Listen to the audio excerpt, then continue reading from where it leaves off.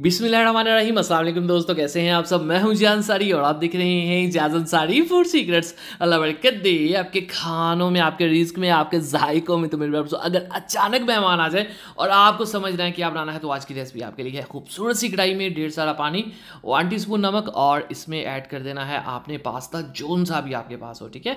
हम यहाँ पर मैक्रोनी ऐड कर रहे हैं और इसको साइड पर बनने देंगे, ठीक है? क्योंकि हमें जल्दी है, हमारे पास टाइम नहीं है तो हम जल्दी जल्दी और झटपट सारे काम करेंगे। खूबसूरत से हमें टमाटर चाहिए, जिनको हमने अच्छे से धो लेना है और इसकी हमने कर लेनी है कटिंग ठीक है?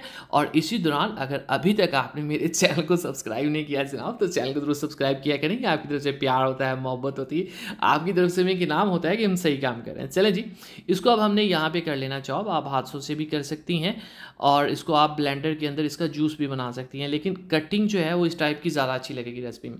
यहाँ पर हमें चाहिए एक बहुत ही खूबसूरत सी कढ़ाई और इसमें हम ऐड करेंगे cooking oil one fourth cup one teaspoon इसमें ज़ीरे का तड़का लगा देंगे और साथ ही इसमें हमें चाहिए अदरक लहसुन का पेस्ट ठीक है?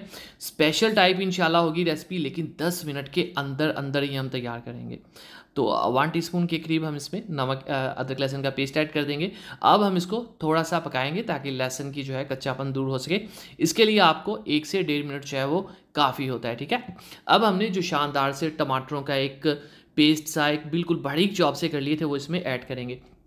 इसका ये जो दाना सा है ना, ये जब पक जाएगी ना रेसिपी फाइनली तो आपको पता चलेगा कि कितना खूबसूरत लगता है। चलें जी, इसको अब यहाँ पे हम पकाएँगे और ये देखें, बहुत ही शानदार तरीके से यहाँ पे इसकी जो कटिंग है, वो थोड़ी सी गलती होगी। चलें, कोई बात नहीं।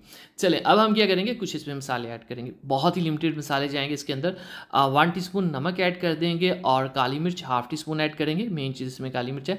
चिली फ्लेक्स यहाँ पर मैं डेढ़ टी स्पून ऐड कर रहा हूँ। आपको ये ज़्यादा लग रही होगी लेकिन टेंशन नहीं ले।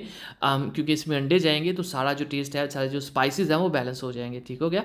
चलें जी अब हम इसकी थोड़ी सी पकाई कर लेंगे। हाई फ्लेम के ऊपर आप पका लें इसको डजेंट मैटर कोई टेंशन नहीं है।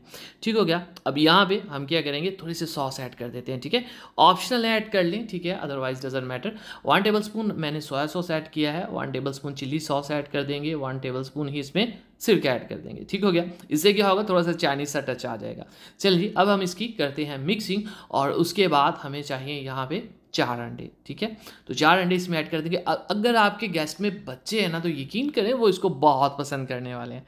चलें जी, अब मैं इसको अच्छे से मिक्स कर रहा हूँ ताकि ये बारीक हो जाए, ठीक है? अगर आपकी प्रियरिटी ये है कि अंडा मोटा मोटा हो तो आप इसको ज़्यादा मिक्स ना करें, ठीक है? तो इट्स टोटली अप टू ये अब ये पास्ता जिसको हमने किया था बॉयल इसको ऐड कर देंगे। याद रखिएगा पास्ता बॉयल के दौरान मैंने इस दफ़ा कुकिंग ऑयल नहीं डाला। ज़रूरत ही नहीं होती, वो जस्ट हम कुकिंग ऑयल ज़ाया करते हैं। पड़ा हुआ जुड़े तो उसमें पानी डाल दें, ठंडे में ही उस टाइम सेपरेट हो जाता है। अब यहाँ पर इसको अगर आप चाहें तो इसमें हरी मिर्च का टच दिया जा सकता है बट अगर बच्चे हैं गैस में तो आप हरी मिर्चों का इस्तेमाल मत करिए, ठीक है? ज़रूरी नहीं है। यहीं पे रेसिपी जो है, आपकी ऑलमोस्ट डन हो चुकी है। थोड़ी सी करेंगे मिक्सिंग अब यहाँ पे मुझे लग रहा है कि कलर स्कीम को थोड़ा सा खूबसूरत कर लेना चाहिए, ठीक है? तो उसके लिए हम यहाँ पे धनिए का इस्तेमाल कर लेंगे, ठीक है? एक्चुअली कैमरे में इतना अच्छा से नज़र नहीं आ रहा, लेकिन टमाटर के छोटे छोटे जो पीस है ना, वो बहुत ही खूबसूरत लग रहे हैं। ठीक हो गया? चले जी, चलते हैं हमारे लुक की तरफ़। बिस्मिल्लाहमान रहीम।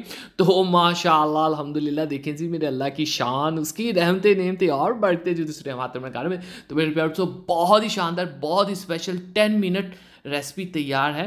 How to make pasta how to make macaroni तैयार है। इसी तरह यमी टेस्टी रेसिपीज़ के लिए क्विक एंड इजी रेसिपीज़ के लिए हमारे चैनल के वीडियो सेक्शन जाइए। दुआओं में याद रखिए कि तक। अल्लाह हाफिज़।